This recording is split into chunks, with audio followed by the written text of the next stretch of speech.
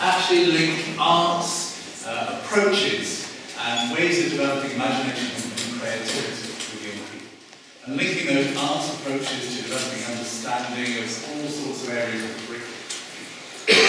coupled with the kind of animation of the presenters who were really sort of building this, building their enthusiasm very much for us. Um, one of the things that I'm working with, is an organisation called Curious Minds, which supports very much that work, the work of those people who are really engaged in schools with creative approaches, with arts-based approaches, and also working alongside creative and cultural organisations to develop skills. And one of the, the offers I'd like to make is to start a cultural conversation about the link between arts learning, cultural learning, and school improvement. So I'll come here with a bit of an offer, an offer. The offer really is about how to help in a number of ways. One of the things that I've discovered, and I'm sure you have too, but one of the trickiest things that schools and other settings have to deal with is actually some of the strategic stuff. Actually having to sit down and think, right, I need to actually create some kind of arts policy that embodies what we stand for in terms of our arts vision, our cultural vision, and how it links to school improvement. That can be a tricky thing to do. I'm going to suggest in a minute ways of, of dealing with that, supporting schools in that, so you're not reinventing the wheel. The second area that schools sometimes have tricky dealings with, and it's partly what politicians come up with, there's this view that there isn't the evidence about that links arts and cultural learning with school improvement.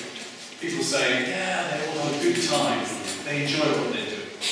But there is actual data out there to link conclusively. Schools and school teachers like yourselves don't always have the time to actually find where that is. The job has been done, I'm going to signpost where that evidence exists. And the third area is we've heard examples of partnerships, partnerships with archaeologists, explorers, scientists, gamers.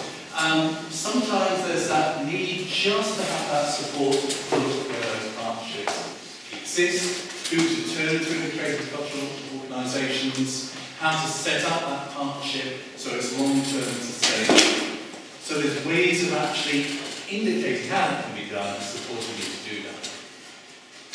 What I urge you to look at, and I know that uh, this is going to be sent through to you, if you're thinking about school vision, what a policy looks like, and why uh, cultural learning, arts learning is significant for your school and the young people you teach.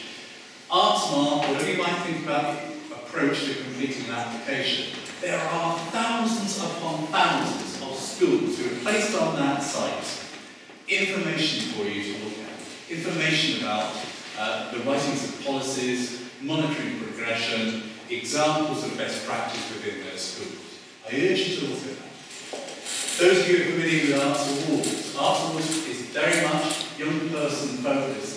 Have a look at some of the experience of young people, how they work and develop their arts education within schools, within museums, within other settings, and actually are able to talk with such confidence about how they've benefit. The Arts Bridge organisation, Curious Minds, and Museum Development Northwest give information about where partnerships exist, who to turn to, what organisations are working effectively within schools, how to set up that partnership. And the, the little one, the Creative Learning Alliance, uh, actually is a good site for where to promote the case for cultural learning.